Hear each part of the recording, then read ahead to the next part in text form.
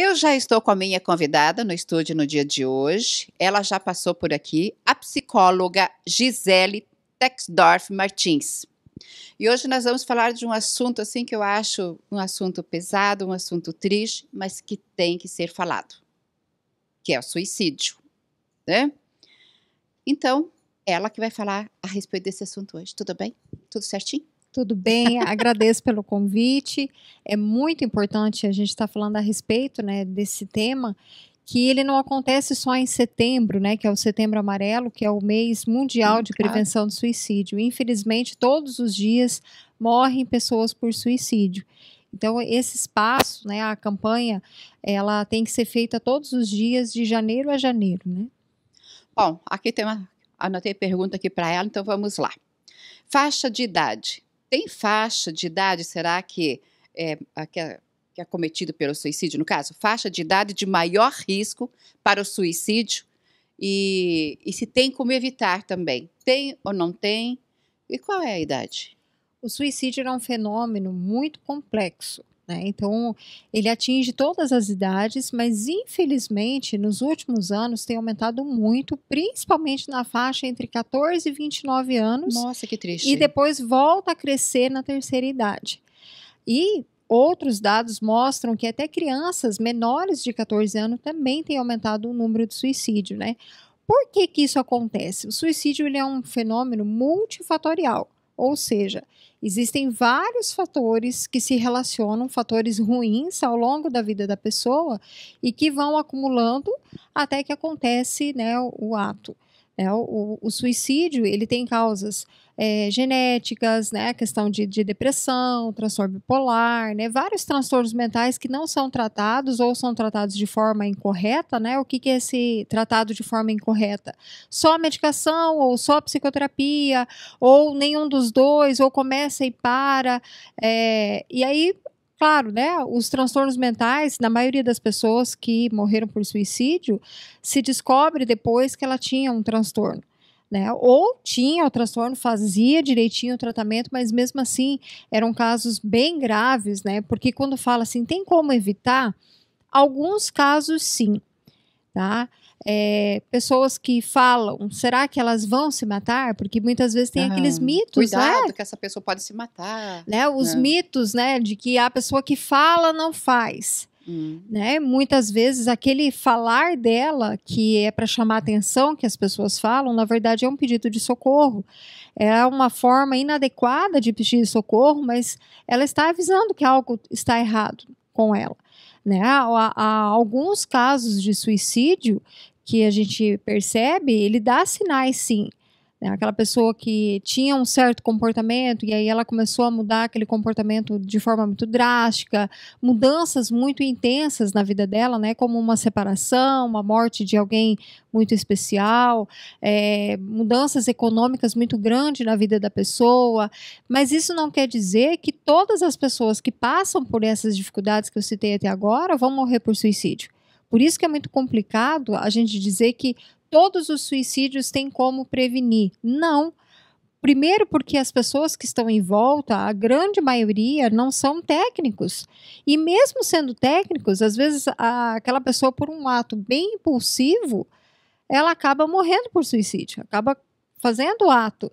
Então, isso aumenta mais ainda a culpa da família, né? Porque é, quando a gente fala a respeito de suicídio, a gente tem que entender que, é, como é um fenômeno muito complicado, muitas vezes não está bem claro para as pessoas os sinais. Né? E às vezes não tem sinais. E como a pessoa não é um psicólogo, não é um psiquiatra, e que às vezes até mesmo para o psicólogo e para o psiquiatra, às vezes pode passar batido alguma, algum sinal, imagina para a família, né?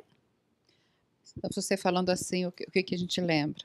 Pandemia Quantas pessoas, eu falo assim no português claro, entraram em parafuso por motivo da pandemia? Quantas empresas fecharam? O financeiro foi lá embaixo. E o que fazer com as contas? E muitos fechando as suas empresas. Imagine só se isso fosse, né, tudo isso levasse ao suicídio. Já pensou é, que loucura? Esses fatores, eles para algumas pessoas que já em, se encontram em sofrimento psíquico, é seriam a gota d'água. Sim. Tá? Porque como ele é multifatorial, ele vai se relacionando com outras coisas ruins que vão acontecendo na vida da pessoa. Para um pode desencadear, para outro não. Até mesmo os fatores de proteção. Para uns, tal situação vai ser um alívio, para outro não vai ser. Então é tudo muito particular. E quando a gente fala de suicídio, o que, que a gente tem que pensar em prevenção? Primeiro, a gente tem que falar falar de forma responsável, nenhum espaço desse que você está abrindo para gente é super importante, porque você está falando de forma responsável, sem fazer sensacionalismo, porque antigamente tinha um tabu que não poderia falar na mídia a respeito de suicídio. Né? Não era falado. Então, como se não falasse, não se tinha problema. Só que isso não resolveu porque os números só vêm aumentando. Aqui no Brasil, nos últimos 10 anos, aumentou em 60%. É muita coisa. Meu né? Então, alguma coisa tem que ser feita. Então, em 2015, chegou a campanha do Setembro Amarelo no Brasil. Então, vamos falar. Aí a gente foi para um outro extremo, falar de qualquer jeito. Então, a gente já viu aí na mídia é, vídeos de pessoa morrendo por suicídio, fotos né, da pessoa que faleceu, cartas. Então, coisas que, primeiro, porque ofende a memória da pessoa né, que estava em profundo sofrimento. Segundo, porque como fica essa família? Terceiro, e as pessoas que já estão com uma ideia bem avançada em querer morrer? E aí você passa uma notícia dessa sem critério algum, seja num jornal, seja no Facebook, né, numa rede social, né, sem, sem respeito, sem esse cuidado. Isso pode ser sim um desencadeador que a gente chama de efeito Wertner, né, ou efeito contágio, que a gente chama, né, onde você dá a ideia sim para outra pessoa fazer isso. Então isso é crime. Então a gente tem que tomar muito cuidado como é divulgado, mas tem que ser divulgado. Você precisa é, passar informações onde a pessoa entenda que aquilo que ela está passando tem solução, que ela pode procurar ajuda, que ela tem como é, mudar esse pensamento que ela está tendo, porque ela vai fazer um tratamento, né? Então, quando você naturaliza falar a respeito de saúde mental, você pode sim reverter muitas situações. Porque aí você pode falar assim, mas se tem casos que a gente não consegue é, detectar, então que, que adianta? Adianta porque quanto mais a gente naturalizar a importância da saúde mental, mais comum fica a ida ao psiquiatra, a ida ao psicólogo. Então, muitas coisas podem ser mudadas quando a nossa cabeça muda em relação a essa questão cultural, né? Eu acho que a pessoa geralmente dá sinal de desespero, porque é as coisas que fazem que não dá certo. Assim, não aguento mais esta vida. Eu vou dar um fim na minha vida e pronto, acabou os problemas né? Tem, eu, eu já ouvi gente falando assim. E, e daí os pais ficam com raiva, é, assim, vá, se mata então, se acha que é a solução. Isso é um perigo, né? Porque está encaminhando, depois acontece o fato, vamos imaginar que aconteça o fato. Como que fica daí a pessoa que incentivou a isso? Porque culturalmente, muitas pessoas ainda têm aquela ideia de que quem fala não faz. Não faz, isso é verdade. E muitas vezes a pessoa ela vai acabar fazendo para provar que ela estava em sofrimento. Porque acontecem três coisas na cabeça da pessoa que está em profundo sofrimento psíquico. Primeiro, o suicídio ele não é um ato de coragem e também não é um ato de covardia. Ele é um ato de desespero de uma pessoa em profundo sofrimento psíquico. Né? Então, até uma das coisas interessantes é que o termo, né, cometeu suicídio, para a gente que é da área, a gente está tentando levar para a população de que esse termo é um termo pejorativo, porque ele dá a ideia de cometer algo é, pecaminoso, um crime, por exemplo, ó, cometeu adultério, é, cometeu um crime. Ninguém fala cometeu diabetes, cometeu é, um câncer, né? Então ninguém leva em consideração que no suicídio tem sofrimento psíquico, tem desespero, tem desesperança, tem na grande maioria das vezes um transtorno mental. Então hoje a gente tem procurado estudar várias maneiras de mostrar que o suicídio a gente tem que levar muito a sério. Né, os números são altíssimos. Aqui no Brasil, em média, são 32 pessoas por dia fora as tentativas, fora a ideação suicida. Então, é um problema de saúde pública. E quando a pessoa está ali num, no ato ali bem de desespero, acontecem três coisas: o desespero, o desamparo e a desesperança. Uma só já serviria para a gente sofrer. Imagine as três. Né? Então, é, muitas pessoas que eu atendo que tentaram né, o suicídio, elas falam que naquele momento não passou nada na cabeça dela além de se livrar daquela dor, que ela não tinha noção de verdade, porque sai fora mesmo, né? É, que aquilo não teria volta. Porque para tudo, enquanto a gente tem vida, tem solução. Se você compra uma calça que você não gosta, você pode devolver, você pode vender, você pode doar. Agora, para a tua vida, nesse ato impulsivo, não tem volta. Então, naquele momento, por isso que é muito sério isso, a pessoa ela perde realmente a noção daquilo que ela está fazendo. Né? E aí, depois, quando a gente vai atender, a pessoa ela cai em si, mas continua sendo um paciente de risco para, principalmente naqueles dias que ela sai do internamento, né, ou pela maneira que ela tentou, volta.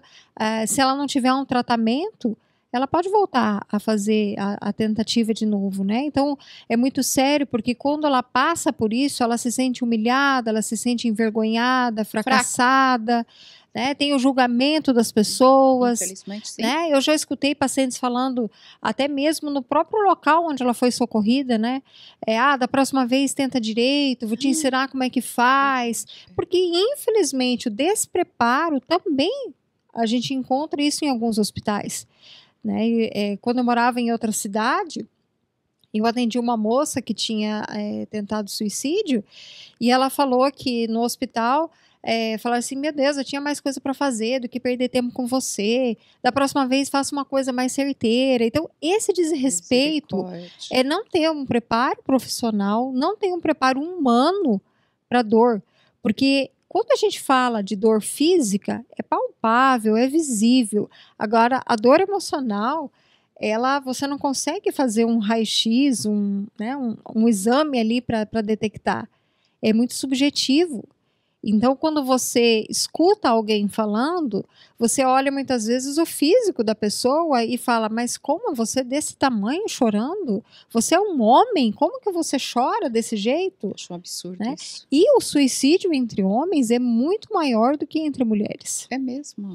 É porque as mulheres, culturalmente falando, né? Nós somos choronas, procuramos mais médicos, procuramos mais tratamento, vai mais no psicólogo. Então ela pode até tentar mais vezes, mas os meios mais assim lesivos, né, e vamos dizer assim, é, que acaba tendo o ato mesmo consumado é os homens, que os meios que eles utilizam são mais cruéis, né? E, e por quê? Porque culturalmente o homem não pode chorar, não desabafa. Não desabafa, não as fala. Mulheres não, as mulheres têm as suas é. amigas. Porém, o que a gente tem que pensar, né? Então, quanto mais a gente naturalizar essa questão da saúde mental, quanto é importante, será que a pandemia ela tem piorado essa situação? No consultório, o que eu tenho percebido é um aumento de pessoas com transtornos de ansiedade. Né? Então, parece assim que até combinaram o que, que iam falar né? Jovens, principalmente jovens, porque a rotina mudou, a maneira de viver mudou, então tá fazendo só o que não quer. Então, se já tinham outros complicadores ali, a coisa aumenta mais. Né? Então, ah, por causa disso vai se matar? Como eu disse, ele é multifatorial, então ele vai se relacionar com outras coisas. Por isso a importância de se buscar acompanhamento psicológico, não esperar adoecer, não esperar, não encarar a psicoterapia só quando fica doente. Né? E o tratamento, assim como ele tem causas multifatoriais, o tratamento ele é multiprofissional.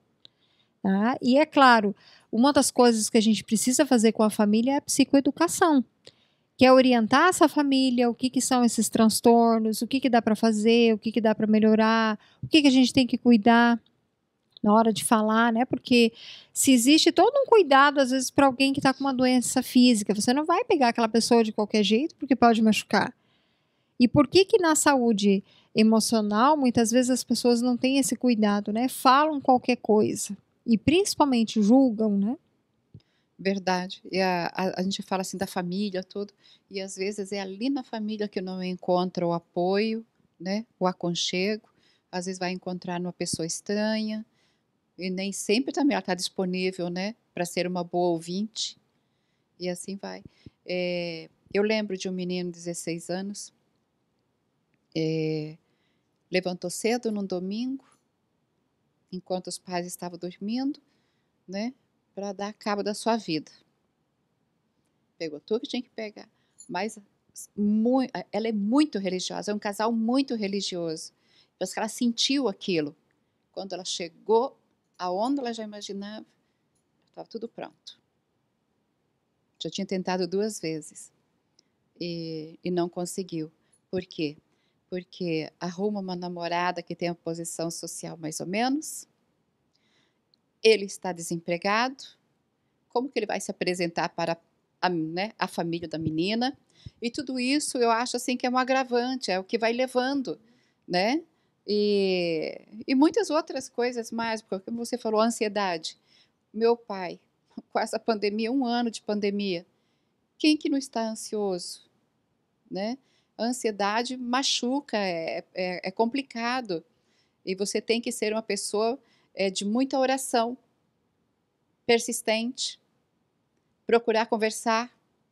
A hora que tem vontade de fechar tudo, fechar no casulinho ali, ficar sai a procurar fazer alguma coisa, não se entregar, né? E isso que você falou da religiosidade, é importante destacar que a religiosidade ela está no meio ali. Ela pode ser fator de proteção, mas ela também pode ser um fator é, de adoecimento. Sério? Né? Graças a Deus, né, que muito que bom que as religiões elas têm mudado um pouco a, a essa perspectiva em relação aos uhum. transtornos mentais, uhum. porque até muito pouco tempo atrás, ainda tem umas pérolas perdidas por aí, mas era muito forte aquela questão de que é, é falta de Deus, ah, é, se você está em, você tá em pecado, é falta de fé, é falta de oração, e não. Né? Então, a, a religião, ela quando ela é desinformada em relação a isso, ela acaba sendo julgadora. E aí, uhum. depois que a pessoa falece, ainda ela, as pessoas ainda te julgam. Como que você não viu, como que você não cuidou, como que você não percebeu. Então, a, a religiosidade, ela pode ser um fator bem é, perigoso quando ela entra com essa questão julgadora. Né, onde não pode ter nenhuma doença né? e pior, não pode tratar duas coisas bem complicadas. Primeiro, que nós somos seres humanos sujeitos a qualquer tipo de problema, a qualquer tipo de doença. E a religião, ela também pode ser um fator protetivo, porque ela pode dar esperança, principalmente é, tem muitas igrejas, o ano, o ano retrasado, né, o ano passado ficou um, um, pouco complicado, né, mas o ano retrasado eu fui em várias igrejas de denominações diferentes para falar a respeito disso. E a igreja é um espaço onde as pessoas procuram o padre, procuram um pastor, Verdade. e eles bem orientados, eles vão conseguir é, cooperar e ajudar as pessoas a procurar uma ajuda médica, procurar uma ajuda psicológica. Fortalecer a né? pessoa. Vai fortalecer que a religiosidade e a, o tratamento, eles podem andar juntos sem problema nenhum. Você não vai deixar de acreditar em Deus se você procurar um tratamento. Pelo contrário, né? Porque se você está doente, uma das primeiras coisas que ficam abaladas é a fé. Porque se ela acredita que ela não pode adoecer, como que ela está doente? Então, ah, porque é falta de fé. O que ela não sabe é que muitas vezes ela tem é, uma doença que precisa ser tratado, que ela está passando por um sofrimento onde ela não está dando conta sozinha, onde a família precisa de ajuda, onde a sociedade precisa de ajuda, porque é um problema de saúde pública. Né? Quantas pessoas estão adoecidas e não fazem o tratamento de forma adequada, ou nem têm acesso ao tratamento? Né? Acham que psicólogo é coisa de rico, que psiquiatra é coisa de doido. É. E essas crenças, elas atrapalham as pessoas de ter acesso ao tratamento. Porque quando elas começarem a entender, elas vão começar a cobrar do, do poder público, né? Onde está o meu tratamento? Onde está o acesso a esse tratamento? E não ficar anos na fila de espera para a, bus a busca de um tratamento. Esse é outro agravante. Vou em busca, né? De uma, de uma ajuda psicológica e ficam aí na fila. Porque se você prepara. Anos e anos. Né, se você prepara uma equipe leiga, né, os primeiros socorros psicológicos ali, né, o que identificar, para onde encaminhar, muita coisa pode ser feita assim. Né? Agora, é, não sei em que ordem está ali nas suas perguntinhas, né, mas o que fazer se a gente acaba perdendo essa pessoa para o suicídio? Porque, infelizmente, Exatamente. o suicídio ele ainda é, é uma utopia a gente acreditar que a gente vai conseguir acabar com ele. Tá? Eu acredito que se nós melhorarmos a, a saúde mental no, no, no, Brasil, né, no nosso município, no nosso estado, com certeza os números eles vão diminuir, mas não vão acabar. Se ele ocorreu, o que, que a gente faz? Né? A gente precisa ajudar essa família, as pessoas que foram impactadas. Até um tempo atrás, se diziam que de 6 a 10 pessoas eram impactadas com o suicídio ali de forma direta. No começo do ano passado, a OMS divulgou um estudo que agora são 135 pessoas, em média, impactadas pelo suicídio. No Brasil, são 12 mil mortes por ano, em média. O que, no final das contas, vão dar ali 1 milhão 620 pessoas impactadas. É muita gente. Porque pensa ali, são famílias, amigos, é, colegas de trabalho, aonde ele estudava, onde ele trabalhava, pessoas que estavam ali, né? E o que, que faz com essas pessoas? Para nós que trabalhamos na área, nós chamamos de pós-venção, que é toda atividade feita para acolhimento dessas pessoas. Né? Porque o que, que acontece? É um luto bem diferente. Ele não é um luto maior, porque não tem como eu medir a minha dor e a sua. Mas é totalmente né? diferente. Porque... Mas é um luto diferente porque é um luto intenso e mais duradouro, porque envolve muita culpa, muita vergonha. Como que eu não vi? Né? Por que que aconteceu? Porque como é que eu, né? É né? tudo. Como Deus, a gente porquês, falou, porquê, né? Os, os porquê, os praquês, é. e o e se, se eu tivesse hum. levado, hum. se eu tivesse feito. Então é muito importante buscar ajuda, por quê? Essas pessoas que foram diretamente impactadas, esses sentimentos, eles estão ali fervendo dentro da pessoa. Então elas precisam de ajuda porque o risco de um novo suicídio ali é muito grande. Né? Então o que, que a gente vai fazer? O sentimento a, de culpa. A pós-venção ela não deixa de ser também um meio de prevenção de novos casos. Então o que, que você faz? Você é, não é qualquer profissional, então você tem que procurar ajuda especializada, porque é muito pesado esse tipo de atendimento. Né? A culpa, a vergonha, o sentimento de impotência, para que essas pessoas possam compartilhar essa dor. Né? Então, eu atendo famílias e atendo também de forma individual, conforme a, a procura. O que, que a gente percebe, né? Que quando ela compartilha isso com outras pessoas, a cabeça dela, né, começa ali, os pensamentos começam a se reorganizar e a dor ela começa a diminuir. Nunca vai sumir, nem essa dor e nenhum outro luto não se acaba, né? Até porque luto não é doença. Luto ele é um processo, é uma perda de algo muito importante na nossa vida. O que acontece é que marca, né? né? o que acontece é que no acompanhamento a pessoa aprende a reorganizar a vida dela após essa tragédia. Porque o, o, o luto por suicídio, né, o suicídio, ele é considerado uma morte violenta. Uhum.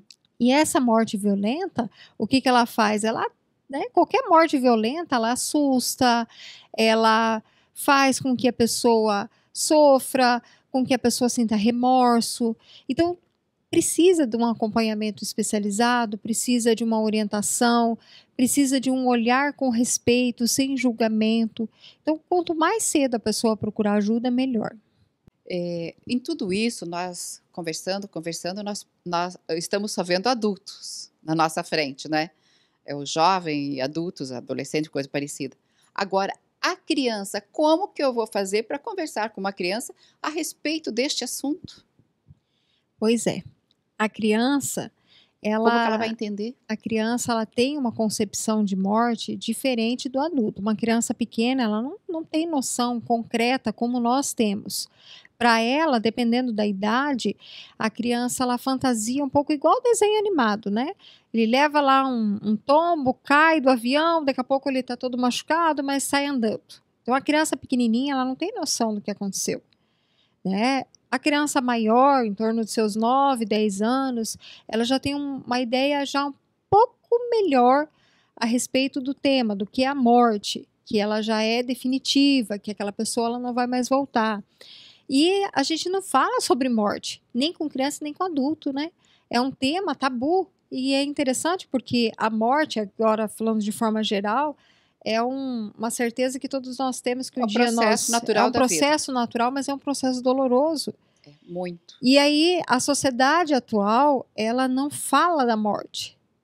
E como que faz, né? Um negócio que acontece com todo mundo, que é uma das dores mais terríveis, então ela merece ser falada, mas ela merece ser falada com cuidado, com respeito. E no caso do suicídio, com esse mesmo respeito, com esse mesmo cuidado, tem que ser falado para a criança. Né? Não sabe falar, pede ajuda. Mas a criança ela precisa ser informada do que aconteceu, não em detalhes, né? Mas de que algo aconteceu, porque a criança ela percebe que tem algo estranho.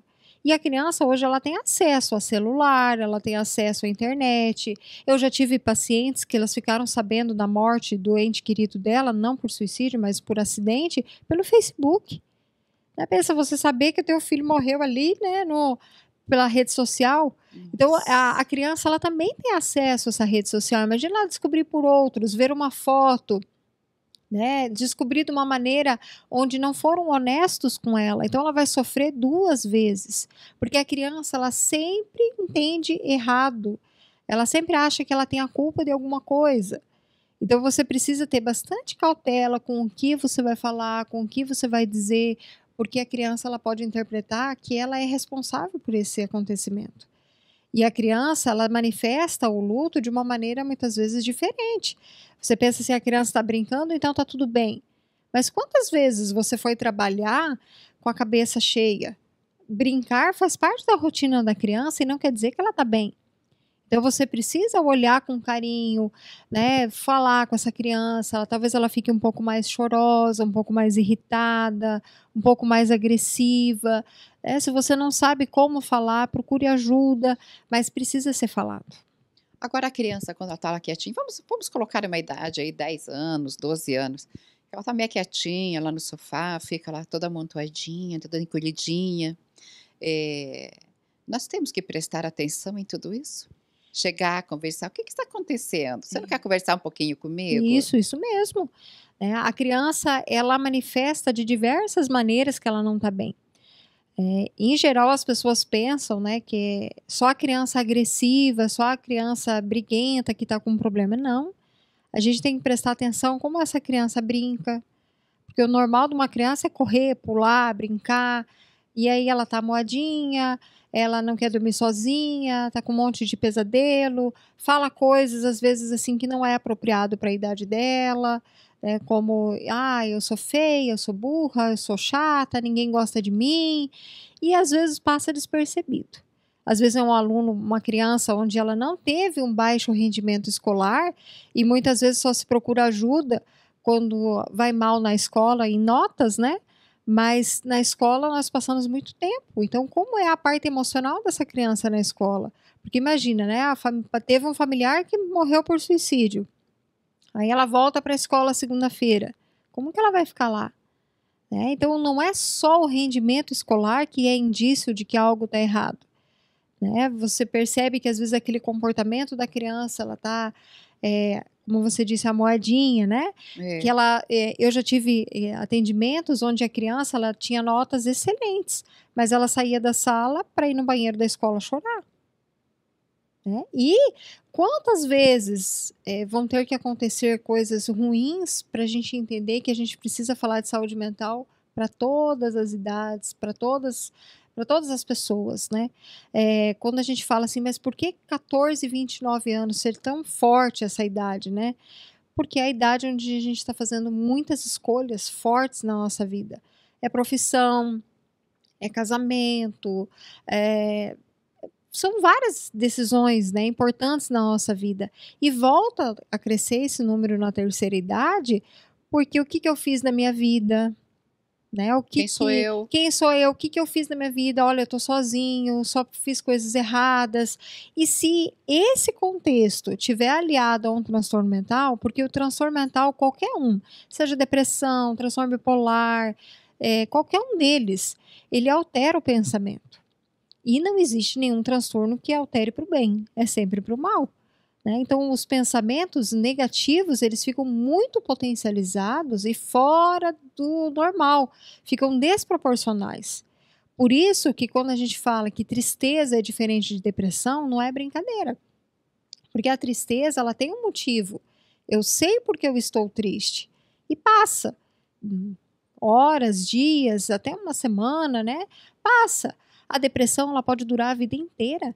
Então imagina você a vida inteira com um sentimento ruim dentro de você, uma distorção de autoimagem, um sofrimento, uma angústia, e aquilo vai tomando uma proporção onde a pessoa ela não sabe mais o que fazer, e aí ela entra em desespero. Então, a, quando você está triste, você sabe, você pega com a mão ali o que você está sofrendo. Numa depressão, fica algo, mesmo que tenha um problema, fica algo vago, ela não consegue nominar corretamente aquilo que ela está sentindo, ela só sente desespero. Todas as pessoas que têm depressão vão morrer por suicídio? Não. Então, por isso que o tratamento ele é melhor.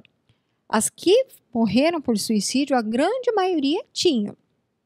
Né? Então a gente precisa ficar mais atento, né? Depressão não é frescura, não é falta de Deus, é, pode acontecer em qualquer faixa de idade, em crianças, em adultos, em adolescentes. E as coisas que ocorrem ao nosso redor, elas são gatilhos para a doença potencializar, para a doença desencadear.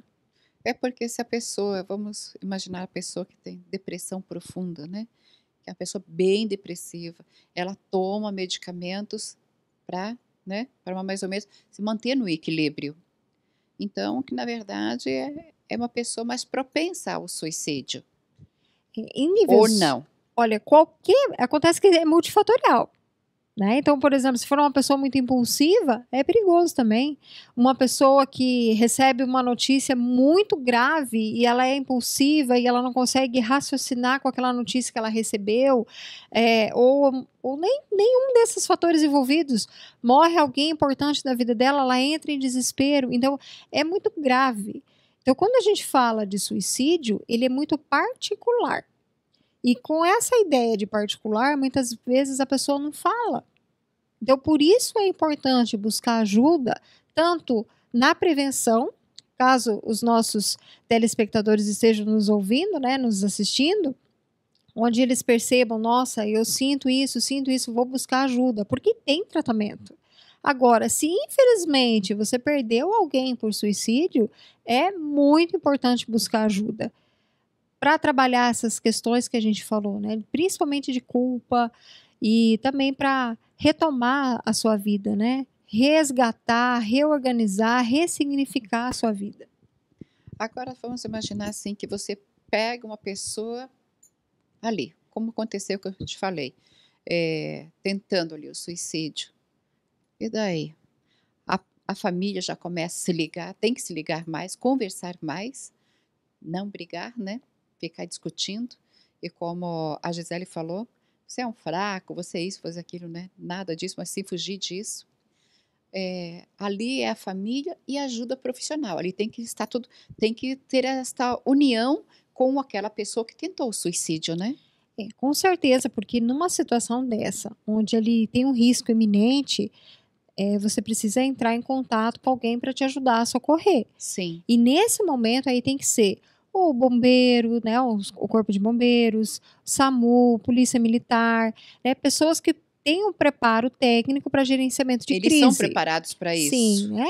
É, se você conseguir, então, leva a pessoa direto para um pronto-socorro. Ali é um, uma, um atendimento paliativo para aquele momento. Não vai resolver o problema, mas tira da, daquela crise iminente ali que a pessoa está tá passando.